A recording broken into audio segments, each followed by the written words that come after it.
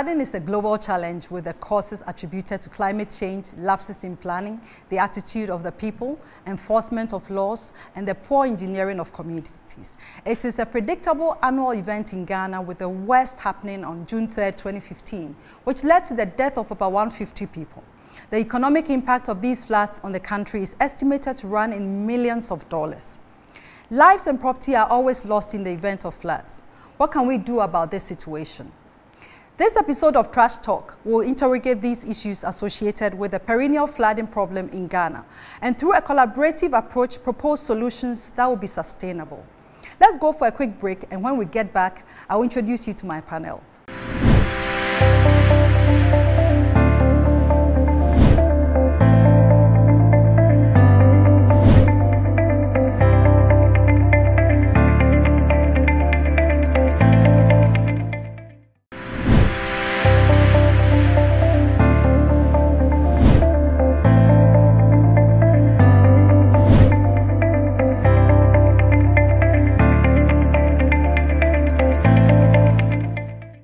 Welcome back to Trash Talk. Today we are talking about flooding in Ghana, a very topical subject to be addressing at this uh, time like this um, in the year.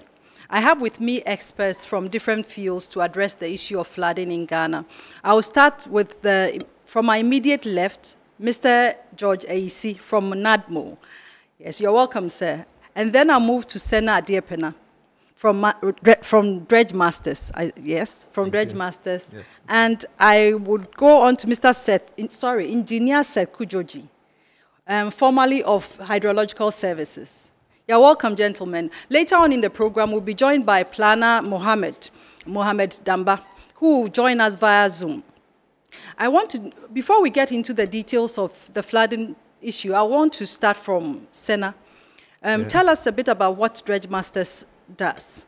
Okay, thank you for having me on your show. Dredge Masters is currently the biggest indigenous dredging company in Ghana, offering dredging services across the country and even within the West African sub-region. So basically, we, for those who don't understand dredging, it's basically taking out material from underneath water, a water body. So it's a, a maritime activity, it's a marine-based activity. We also uh, undertake uh, sea defense projects and uh, other maritime consultancy and engineering services related to the marine industry. I, I suppose dredging. your activities are all coastal related?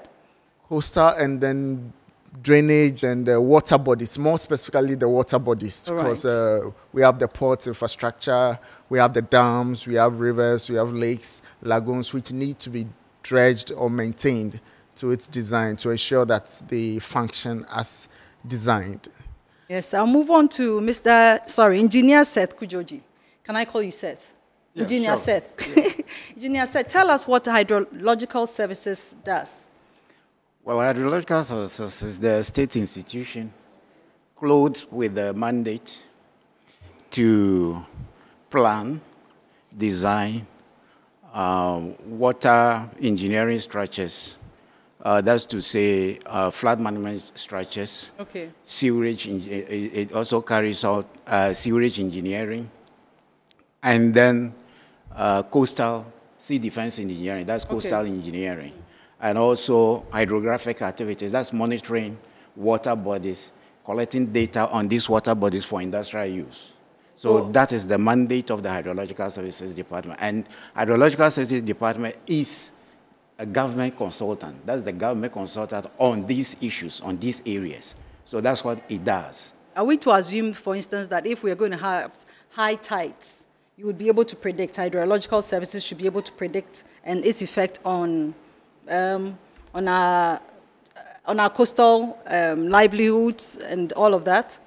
Well, the uh, sea sea levels are being monitored in the country at various points. So. By, by who? By yourself? Yeah, by hydrological services? Hydrological services and then even the ports. The ports? The ports. You okay. see, Tema Port, Takoradi Port, mm -hmm. they, they have instruments which monitor the, the sea levels. Okay. Okay. I'll move on to Mr. George Ayisi of NADMO. Please tell us about the mandate of NADMO. Yeah, thank you. Uh, NADMO is tasked with the responsibility of managing disasters and its uh, similar activities uh, related to disaster management, and then to develop the capacity of communities to respond positively uh, to disaster issues. so that's basically what we are tasked uh, to do. And, and, NADMO was set up uh, by Acts 517 of 1996 and it's been reviewed to Act 927 of 2016. And so now we are operating under Act 927, uh, which gives us the mandate uh, to carry out our activities across the country. Interesting. So I suppose this period of the year is your hottest. Yeah, yes, and NADMO is, uh, to add, is a coordinating agency in the disaster management arena. Okay. What it means is that we don't work alone. Uh, we work in partnership with other organizations like his organization, oh. like his, the assemblies, uh, the Ghana Armed Forces, the Ghana Police Service, National Ambulance Service, uh, National Security, uh, Signals Bureau, uh, and the Ghana Army. Okay, sometimes you need 48 to come in to lift heavy boulders in case of collapse of building. Sometimes you need Air Force with helicopters and co to move so we work in partnership with all these uh, agencies. Yes, uh, this time is the uh, busiest uh, moment for uh, anybody working at NADMO uh, because of flood issues. but we are not only involved in flood management, we are involved in even fire. But the good news there is that there's a state agency that is directly responsible for fire incidents, and so National Fire Service. But we, we, we assist them when uh, it happens that way. And then we are involved in other hazardous material, hazmats. Fire Service, again, is, is the special agency uh, for that. And then we, we earthquake disaster and all that. So NADMO is involved in all kind of disaster management activities. You have a broad mandate. Yes. And so I'm assuming that you are the anchor for this whole collaborative effort by government. Yeah. Okay.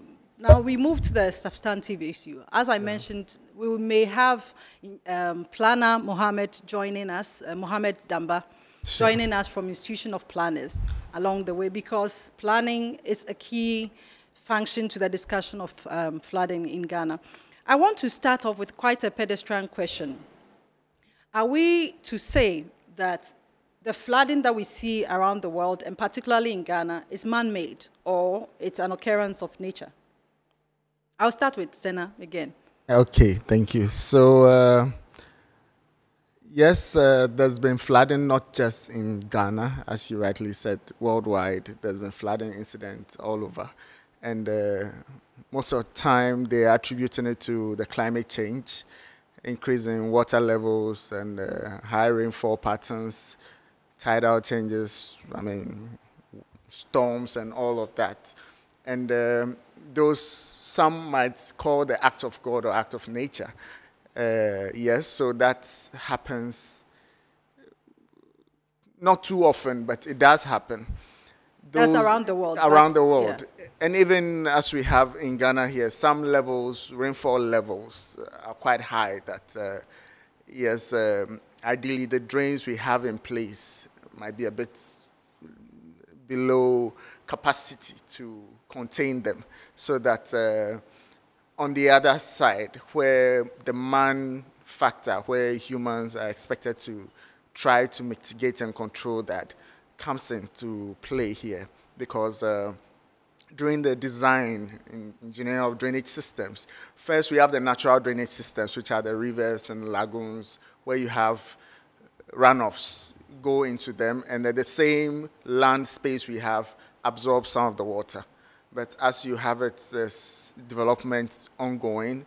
There is engineering because of these development structures that also allow for runoff. Because the more the structures come up, the, the concrete work doesn't allow for percolation of water into the ground. So you have increase in runoff. And yeah. that's the reason why it's, it's, it's part of the factors these drainages are I mean, during the design, during the design, yes. So we look at the rainfall pattern within the area. You look at the topography. You look at the, the yeah, the community, Can I population. switch yeah. quickly Okay. to Mr. Ayisi? Um, are we, can we say that the Ghana situation is predominantly man-made? Of the Ghana situation with flooding is predominantly man-made? Predominantly, yes, we can say that. What are but, the factors But there's a combination of uh, the force majeures and then the man-made. Man-made, I think engineer touched on some uh, uh, issues, the drainage system. I'm happy today I'm on the set with the hydrological service going to be a person. hot- a hot Yeah, most times they put, they put their questions to me, so I'm excited he's here.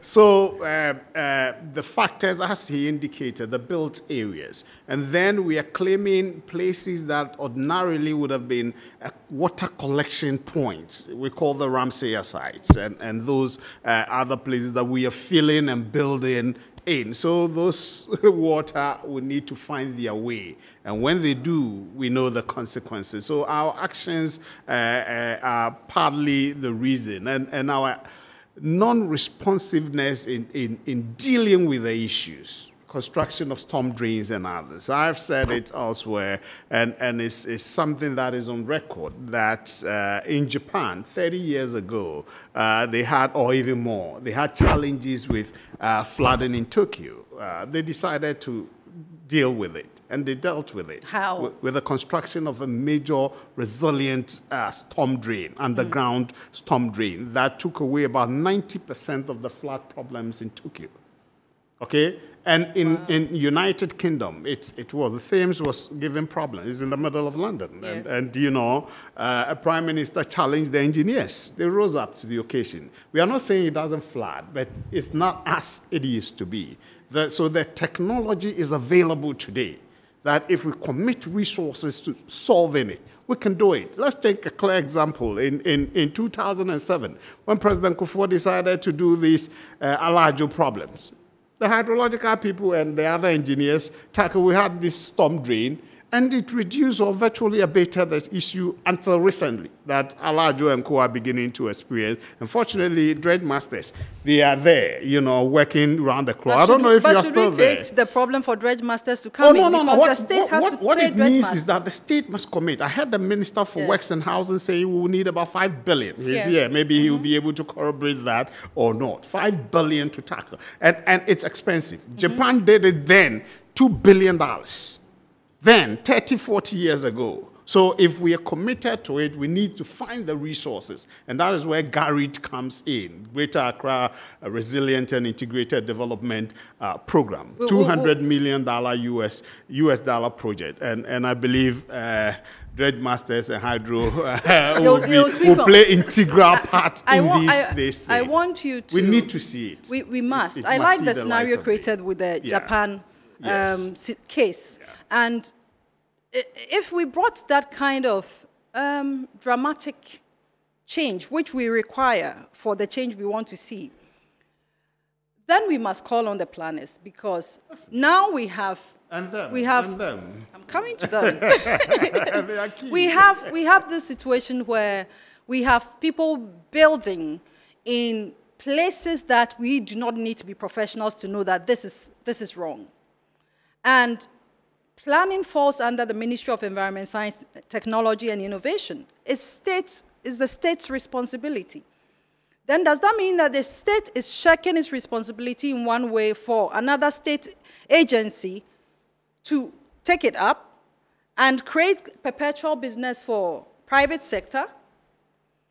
On with the hydrological services looking on because as everybody is pointing out now sir engineer seth where have we failed with our drain system our drainage system in ghana Well, uh, we wouldn't say we have failed. okay Yeah, because there's hope to succeed. okay. So we, we will say that we have failed only when um, maybe all hope is lost and uh, we cannot generate any ideas to solve but looking at the current situation with lives lost property destroyed annually annually Yeah. how have we fared this is at the doorstep of engineers Yes. I always say that the kind of drainage problem that we have in Ghana, especially in Accra, it's not an engineering problem. It's a so- social problem. But you know, uh, to add to it, I know yes. you mentioned Accra, but Kumasi is also flooding badly exactly. now. Exactly, it's a social problem. Okay. It is not an engineering problem. Tell us, should yes. we be having the gutters? I will use my ordinary man's um, language. The gutters, should they be open, open design gutters? Where our bad behavior, if we are badly behaved, we are dumping things in there.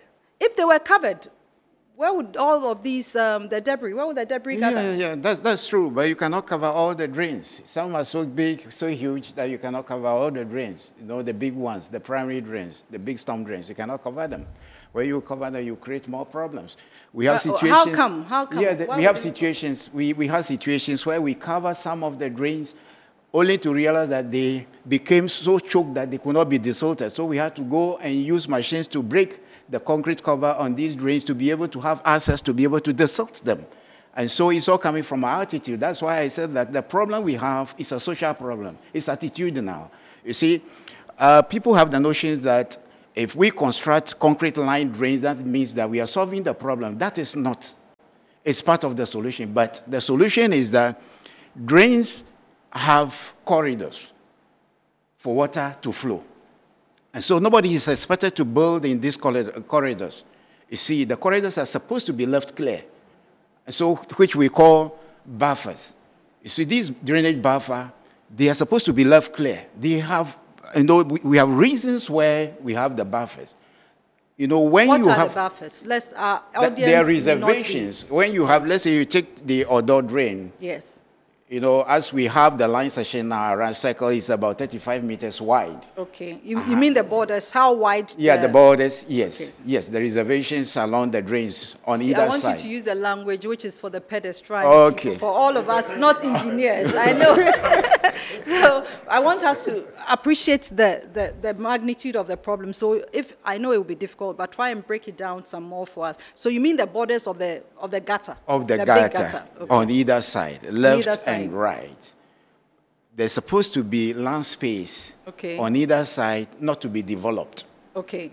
So when you have such a land space, what happens is that when nobody can predict the weather or the storm, when you have excessive storm, which overwhelms the drainage corridor, the drain, then the overflow is captured or is restricted within the corridor. And so nobody, uh, no property gets flooded. But when you have people encroaching inside the corridor, that's where the problem is. Once the corridor is encroached, then you don't even have the land space to expand. If you want to expand, if there's a need to expand the channel, so you don't have the land space to expand. And so that is not a, a, an engineering problem. It's a social problem. People dumping refuse into the drains and choking them is a social problem.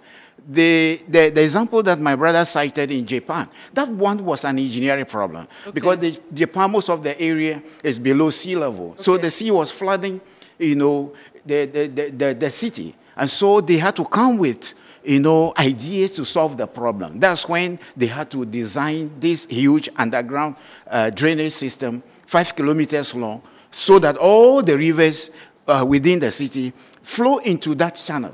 You see, and then the and then the, the, the, the flow is evacuated from the city.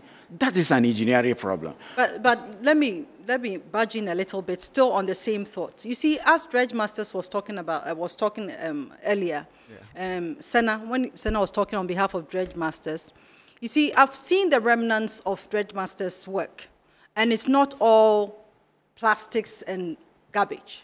Yeah. We have a lot of silt, a lot of sand, and you can't tell us that people are deliberately moving from their households to go and dump sand in these areas. That must be part of the architecture of the land plus the design, the engineering design, which is allowing um, sand to get in. Because a lot of the problems we may even see, you may have the debris being just very limited. But, and that we will attribute to the human bad behavior of the human factor. But the sand, that gathers so much that we must employ a, a private company to actually keep digging up. If I, that's, I just want to use yes. layman's language, yeah. digging up so much. The engineering doesn't cater for sand that would also choke Uh, that is, yes, sir. It's, yes. it's directed. That's why we're talking about during the corridor. We have mm. just mentioned yes. the border. If you have border on either side, nobody is supposed to develop there. You know where the sun is coming from? The sun is coming from our development sites. People go and build, they just dump site there, it rains and the sand is washed into the, the into the, uh, the, the immediate drainage system and then it comes to the next one and then to the next one and then down to Accra. That's where the sand is coming from. It's coming from the areas where development is taking place, unrestricted. Nobody is restricting anybody. You can develop, you can do anything within the basin and then go away with it. You, you agree with me. When people are building, re, doing redevelopment, even in the city of Accra, where do they first dump the sand? They dump it inside the gutter, the mm-hmm. drain, mm-hmm. the roadside drain. They put it just inside it, you know, so that they can use it to do their development. And when it rains, the sand goes into the Odaw River. This is where the sand is coming from. The sun is not being generated by the river. No, it is coming, it is because people are settling within the drainage corridor and then disturbing the soil. When the drainage corridor, the, the borders, as you call it, the borders are left clear, then you have vegetation, you have trees, you have grass growing to check erosion. But when they are stripped off, when the corridors are stripped of vegetation, then you see that when torrent, torrential rain comes, then the soil is washed into the drain. That is what is happening. That have, is where the sun is coming from. We have issues. I mean, it looks like everything is pointing to the inability of us as a country then to plan. Um, I, we have online um, planner uh, Mohammed Damba. Hello, Mohammed. Institution of Planners. Hello, Mohammed. Yes. Hello, senior planner. You're welcome to Trash Hello, Talk. can you hear me? Yes, we can yes, hear you. Thank you. Yes, you're welcome to Trash Talk. How are you, sir? Thank you very much. I'm doing well. Um, we, we've been talking from the different angles. We've had the take from NADMO, we've had the take from Hydrological Services, and of course, Dredge Masters. But it seems there seems to be a trend with the conversation that we have a big problem with planning in this country. And that has contributed in a major way to the flood problem that we have. Um, could you say that uh, the, the, flooding that we have has a lot to do, maybe about 70%, has a, is, is a problem with planning? Thank you very much. Uh, it's difficult to attribute any of these factors uh, in the most scientific manner for now because uh, I do admit that uh, the way planning is done can be part of it, uh, except to add that the processes uh, are as follows, that people acquire land and then they build. By law, they are supposed to not cover more than 50% of the land surface with permeable materials. So when they do, then there is less or no opportunity for percolation, for, for the water to seep underground. So that the volumes that run, uh, which we call runoff into the drains, reduce. And when we have less volumes into the drains, uh, we possibly would have less flooding situations. So this is one thing. And uh, let me be quick to add that the entire country is subdivided into smaller units known as the district assemblies so that we can uh, be more efficient in governing our spaces. And that is why the mandate to issue permits for development is given to these bodies. Um, Will you say with oversight, with oversight from the agency planning? To issuance of permits currently is not efficient enough. And so people find themselves, it's not, we have departments. So if you go to the municipal uh, district assembly, you have various departments. So we have the works department pretty much focusing on the engineering aspect of things. And then we have the physical planning department being in charge of um, uh, leading the processes of preparing uh, land use plans and overseeing how development happens in accordance with certain designated uses. So this is where the problem is. Uh, it's not correct to say that we do not have plans, uh, but it's correct to say that we do not have enough of them. And it okay. is also correct to say that these plans are not updated as frequently as they should be. How often the should they be updated? In, a, in every five years. And, and what has been the problem? Is it the fact that government does not allocate enough for you to undertake this key function? That is part of it. Uh, we have a lot of factors at each level. At, with each cluster of these causes of floods, I think we can disaggregate them further. Yes. Uh, in a typical local assembly, we have issues of logistics.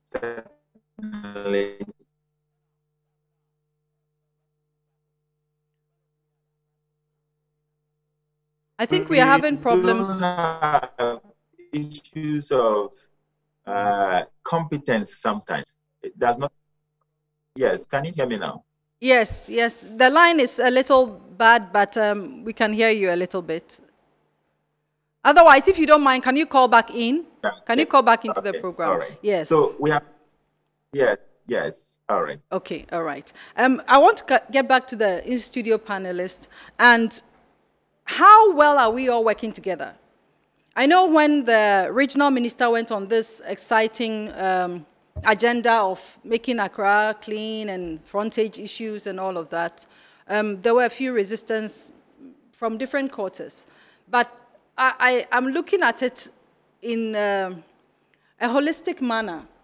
How are we to do? I mean, look, we, we see buildings being put up, and I hear that people are able to go there with their own red paint to write stop work by a particular date. And this is not the planning, um, official government institution responsible for planning.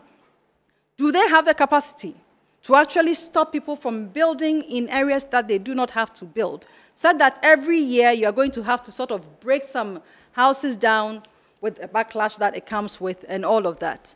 Where are we, are we apportioning, as part of the mitigating factors, our activities for NADMO? During the year, before we get to the rainy season like this, are we on a path to sort of break out of the waterways, buildings that may cause, you know, further damage to other people's properties and their lives? Yeah, thank you. Uh, it's not to be apportioning blames, but yes. all institutions have their responsibilities or their mandates uh, to work with.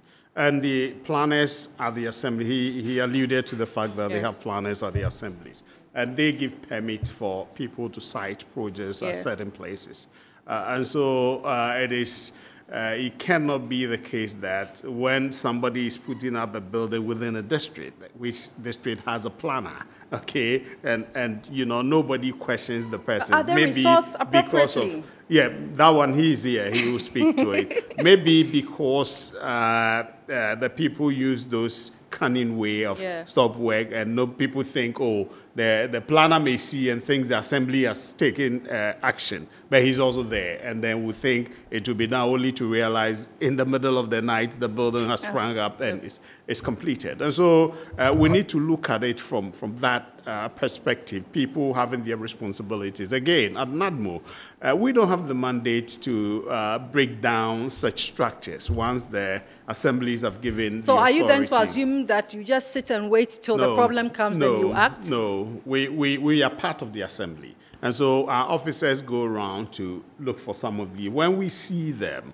then we report our report to the assembly. You know, the DCE okay. is the Disaster Management Committee chairman of the district. Wonderful. Okay, and the regional minister same at the regional level. And so when you send the report, then the DCE is clothed with the powers to call the planner to find out why such structures are going on at certain places that, you know, if you go to the districts, you know, they've been so mapped out that if you buy, if you buy a land in any district, and you go there, they can they will tell you in the next 10 years they plan to put up a school in this area, and it's been mapped out.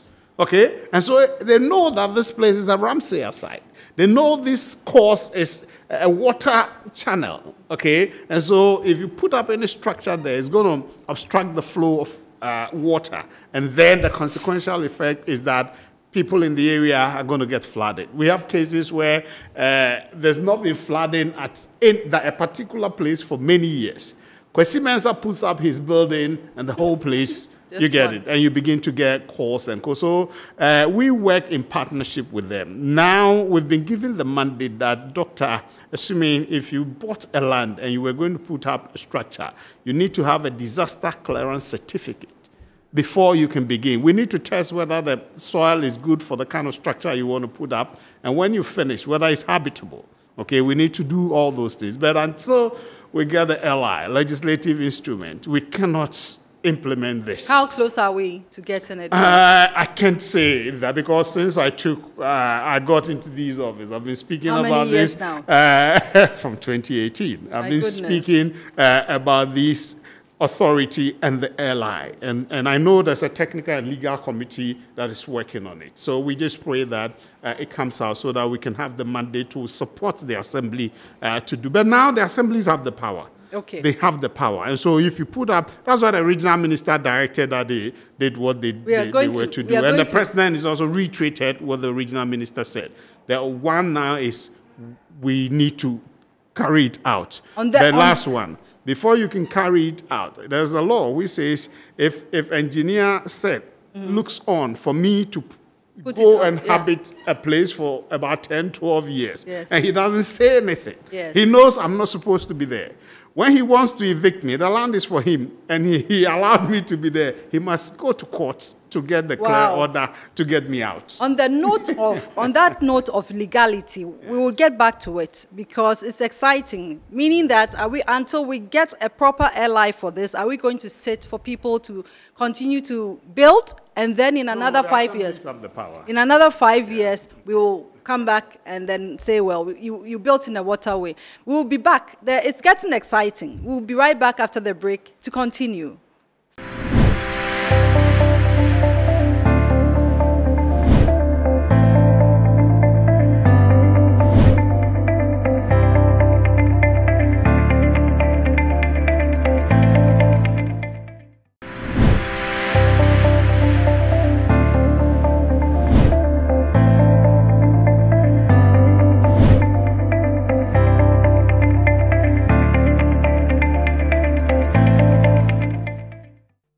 Welcome back to Trash Talk. If you missed earlier discussions, you really did miss a lot. But we are going to conclude the program, this session, with some parting words from Hydrological Services. We also have Dredge Masters and we have NADMO. I want you to tell us, your, give us your take on the flooding situation and conclude with what your role has been or your role is going to be in helping solve the flood problem in Ghana. I will start off with Sena.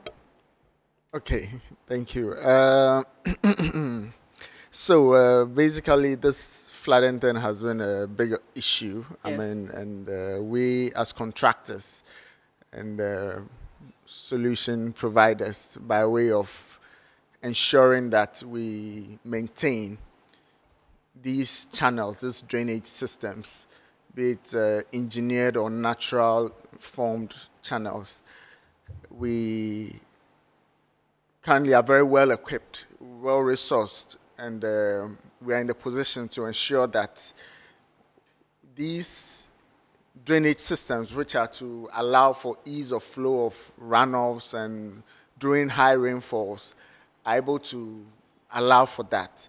But as uh, my colleague senior engineer mentioned, these social issues play a very daunting, I mean, they, they, they, they disturb the whole process. Mm. First of all, there's encroachment within these buffer areas, which are first to allow for, you know, maintenance also. When you have to maintain these channels. These we, we require the equipment to have access to these drainage systems. In addition to the fact that once there's flooding, in the extreme case, these areas also contain the floods, so that uh, we need, as a people, to ensure that we stay away from these areas as much as possible. We know the capital is booming with business. Everyone wants to rush into the space, but it should be done properly. Yeah. The institution responsible for control monitoring, actually, monitoring is key. Once people start, it doesn't happen overnight, so that they come in immediately and ensure that these areas are kept free. Then these smaller drainages, which connect to this major storm drainage. Yes, we are, as part of our mandate in maintaining this drain, we also construct some of these drainages so that uh, it's not just enough to construct it and have it work effectively. Engineer Sena, can I let you, you, you recently launched a, an equipment. The president yes. launched an equipment. Can you tell us a bit about that to conclude? Okay. What's the function of that? What was that excitement all about? Could you tell us something a bit more about it? Yes, thank you. So, uh, yes. as we're growing, as Dredge Masters is growing in the dredging industry, dredging space, we've added onto our fleet uh, state-of-the-art dredging equipment. These dredgers we brought in, they are two beaver cutter suction dredgers and then two support work boats. Yeah. These dredgers are basically intended to dredge deeper waters. So they have a reach of up to 16 meters. What we previously were working with were for depth up to 6 meters, which are for shallow water dredging. So these go for dams, you know, for even retention as a measure, means of controlling flooding. We can create retention ponds and uh, develop the infrastructure in the country. Thank you very Thank much, you. Engineer Sena. I'll move on to Engineer Seth Kudzordzi. Yes. Today you've educated us a lot. Could you give us your parting words? I know a lot, your earlier submission um, gave us a good sense of a balance between the human behavior and also engineering designs. Could you tell us in your concluding statements um, something about the both, or even well, just the engineering part? Well, well, I just want to say that um, government is investing a lot, you know, into the development of drainage infrastructure. But the problem is, the, the problem is so huge and so widespread that the impact is not being felt. And because resources are limited, government has adopted a strategy. You may not see a long drain in your area, but what government is doing is that with the limited resources, it asks the Hydrological Services Department to find out and target it's a targeted solution. Okay. What is causing the problem? Localized problem. Is it a constriction in the channel? Is, it an, is there an obstacle somewhere? So the department goes to rectify the problem so that there will be flow through the community. That is why you might not see you might not see long stretches of drain being developed, okay. but government is doing a lot, investing a lot. But I want to state that the solution to the drainage problem in the country is becoming a mirage for government. Okay. Government is overwhelmed. Yes. The problem is so widespread and so huge that you know the newly uh, new developing areas they are creating even more problems, drainage problems, than the old ones government is trying to deal with. Okay. When you have a situation when, where more problems are being created than you can solve, then you cannot have a lever on the problem. Mm-hmm. Government will find it difficult, any government, the resources are limited. Difficult to solve this drainage problem if we don't, if, our, if we don't change our attitude to uh, uh, drainage issues. If we live, continue to live the way we live in now, then there is never going to be a solution to the drainage problem because more problems are being created than solutions being found. And so that is what I want to state. And I want also to state that the notion that when drains are concrete lined, then there will not be flooding.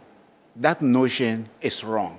What is needed is, is for people to live away from the drainage corridors so that the drains will have, water will flow swiftly through the drains, whether they are off channel, natural channel, or whatever. Once water can flow swiftly out of the communities into the outfall uh, uh, uh, water bodies like the sea, then no home will be flooded.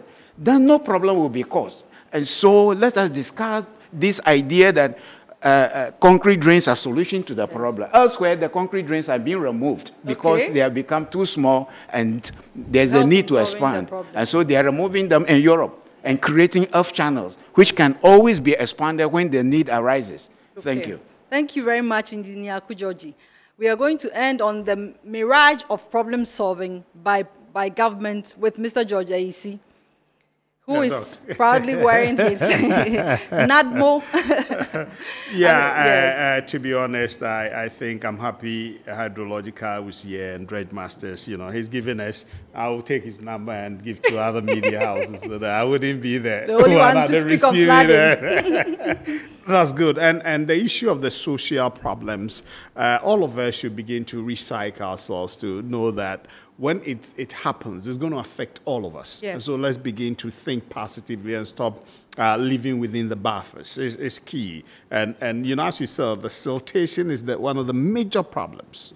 Major problems. That's why I have said that we should have continuous dredging, Yes. dredge master. Because after some ask me, ah, you sit down to the rain setting before you say you are going to dredge. And I say, yes, it's a continuous thing. Because after the rains, because of our attitude, Yes. these sand and coal will be washed in, Right, and we yes. need to scoop them off. And that's where they, they've been doing that, and it's Yeah. helped us down at the circle Okay. area there. So we need to uh, work uh, on that. And again, I think government should prioritize disaster management in the Yes, country. yes. Okay, FEMA in the United States is a key agency that resources are channeled to in Parliament. I've had the privilege of meeting about three, four MPs lobbying them. We, we started lobbying them so we can prioritize their disaster management uh, in Ghana. And last one, Doc, uh, I think NADMO, you can reach us uh, in case of any emergency, Yes. uh, 112. When you call it, 112. we'll get extension uh, to NADMO or 0302 96